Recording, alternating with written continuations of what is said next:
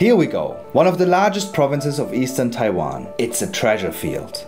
East to the ocean and west to the mountains, Hualien. We embrace nature through traveling along the coastline of the Pacific Ocean. One thing that makes Hualien so special is the Taiwanese Aborigines that live here, such as the Amis, the Bunun, and the Taroko. Today we'll return to nature and experience an exclusive Aborigines culture at this place. Let's discover Taiwan together. Here we go. Hualien. See, there's all these different. Look at these things. That's what I want to see.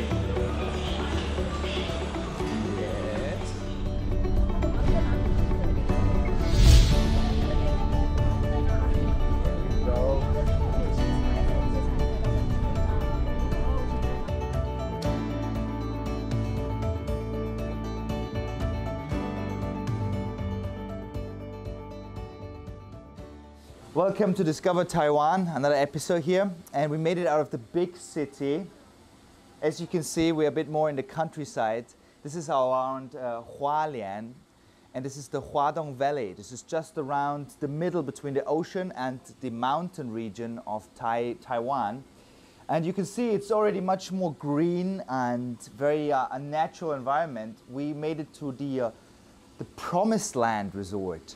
So this Promised Land Resort is where your dreams come true. In Chinese, it's called 理想大地, where your dreams come true, right? So let's see. I have a lot of dreams. Let's see which one becomes true first. This is known as a place where you can heal your soul. It's called the Promised Land, the only ecological park in Taiwan that combines a hotel and natural environment. The gushing spring underground nurtures a large piece of landscape. Pure and clean water feeds a rich number of aquatic plants attracting birds, insects, fish, and frogs. Here, some of the wonders on Earth happen. The Amis have been living here in the wetlands for generations. In order to adapt to the swamp environment, they designed a unique sustainable fishing method.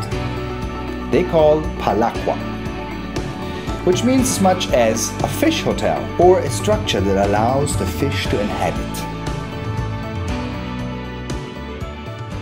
So this is the Promised Land Resort. There's around 22 cottages that are just all located around this man-made lagoon. And I can see a lot of fish in here actually. That's amazing.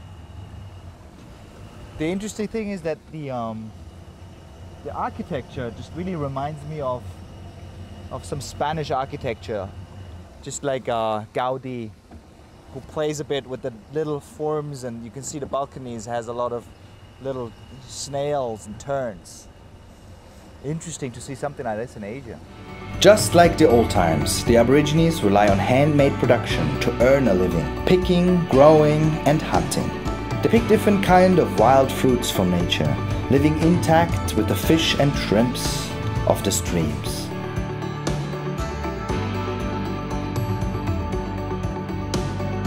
Aboriginal food culture is inseparable from a secret, unique spice. Maqaw, also known as mountain peppers, Zanthoxylum ailanthoides, is regularly used to substitute for red pepper because of its chewy and spicy flavor. Wow, that was quite a bit. My words can't describe the experience I've explored here. But for sure, if you want to embrace today's nature, you must come and live it yourself.